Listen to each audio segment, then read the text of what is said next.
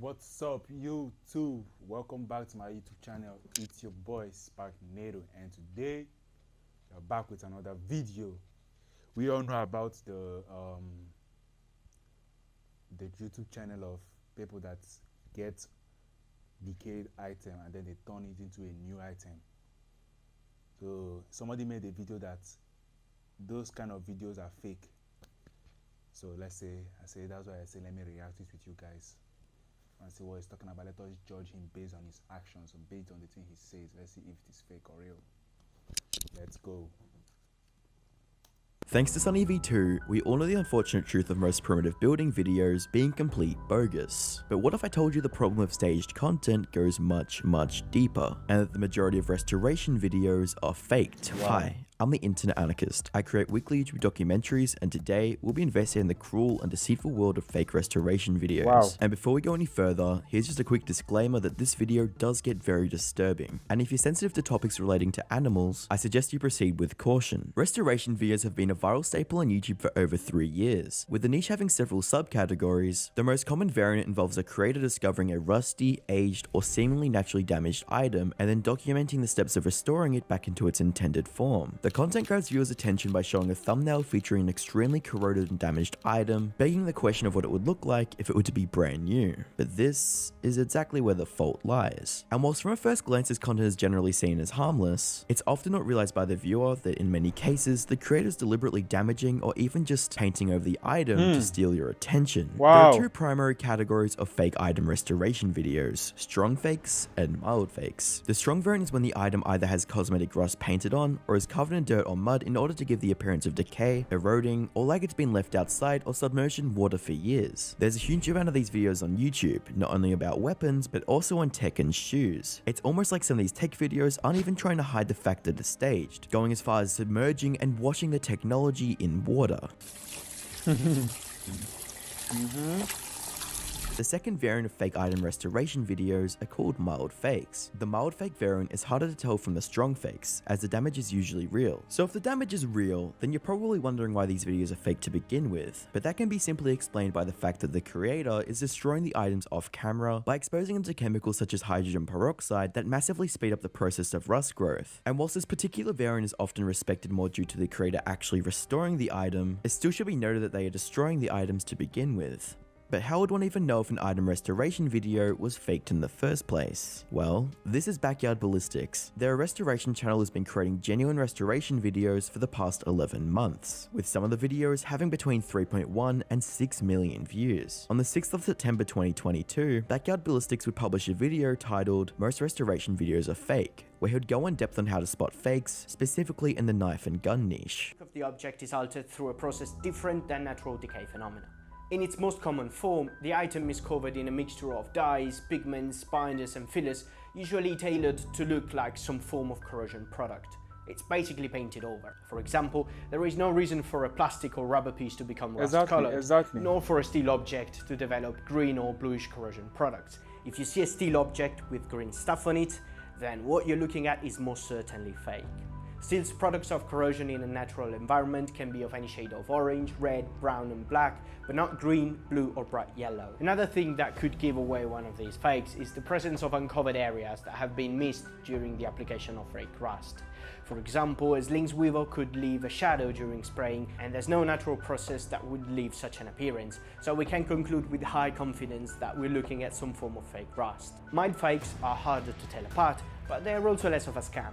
What happens is that the content creator takes an item in good or fair condition and subjects it to the same decay processes that can occur naturally, often in an environment that causes them to happen over a much shorter period of time. This still means that guns or items in good conditions are deliberately damaged for the purpose of making a restoration video, but at least the damage is realistic and the recovery process genuine. In other words, you can still learn something useful from the video. The accelerated aging process is done properly, it's practically impossible to distinguish it from a natural one. It's a bit like artificial diamonds. They are made in a lab setting over the course of a few days instead of millions of years in the Earth's mantle. But if you do them right, the end result is practically undistinguishable.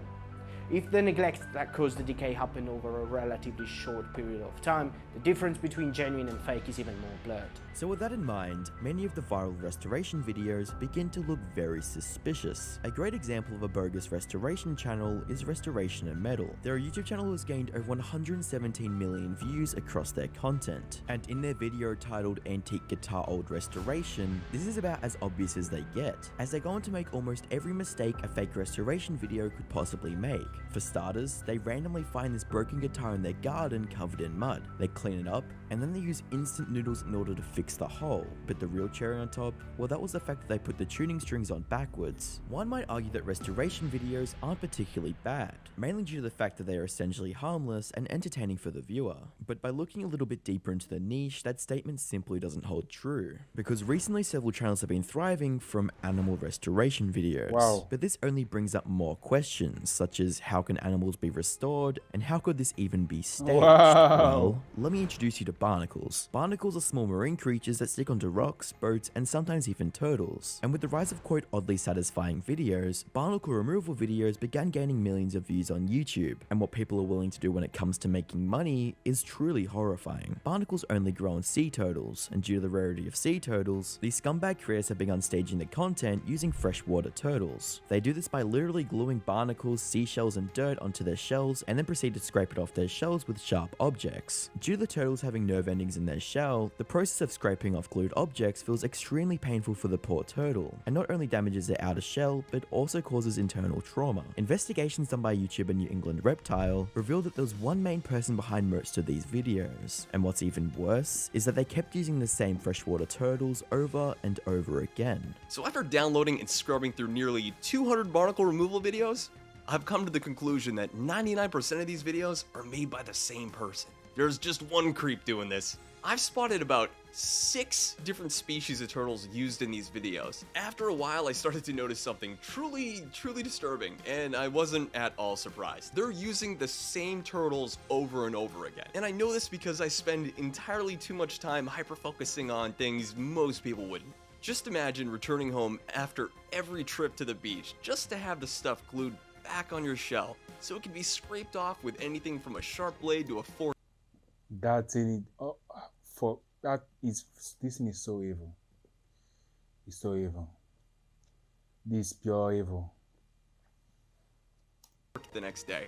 And with comments on these videos such as, it's so nice to see kind people like you helping out these little turtles, it seems like most people don't understand the disgusting and evil nature behind the content they are consuming. But with the rise of the content's virality, it would only be a matter of time before turtle experts would catch on. And on the 10th of November 2022, a channel by the name of Dan the Turtle Man would create a video exposing a channel named Ocean Sea, which at the time was gaining millions of views from harming the defenseless turtles. This is a freshwater species from Papua New Guinea and New Zealand that they glued and it has a soft shell, not a soft shell turtle, but its shell is soft and leathery, and they glued barnacles to the shell to make this fake video. That is so twisted. Not only that, but they're putting them in the ocean. They're literally letting them swim around in salt water. That's not good for them. This is a freshwater species. They're burning its freaking eyeballs. Not to mention the skin problems that they can have from this. Look, it's leaving lesions. It, look, it's you're literally ripping the freaking skin off the shell of the turtle here because they glued the barnacles to this fly river turtle. Are you actually kidding me? And and and on the hard-shelled animals, at least you know it, it's really uncomfortable, but it, usually they don't rip anything off. On this fly river turtle, they are quite literally.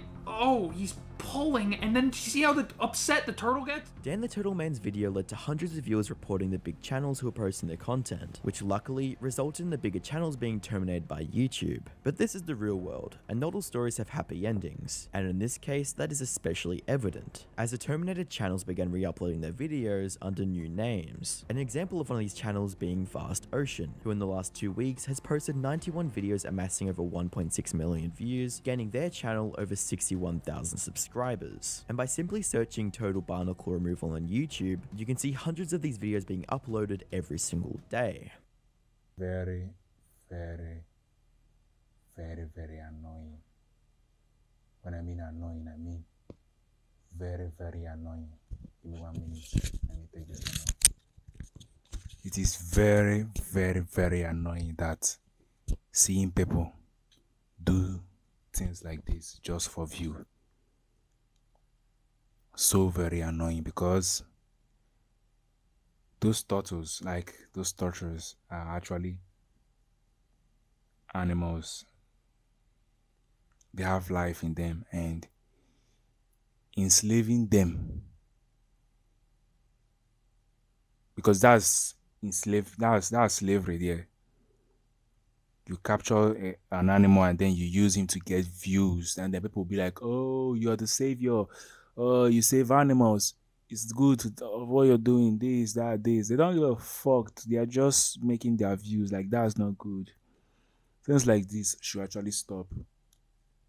That's one thing about being famous. You should go the right way. If you go the wrong way you only be famous for some time and then everything dies down. That's it which is not good. So we have come to the end of this video. Thank you for watching the video and make sure you like share and subscribe. And also comment down below what video you want me to react to next. Thank you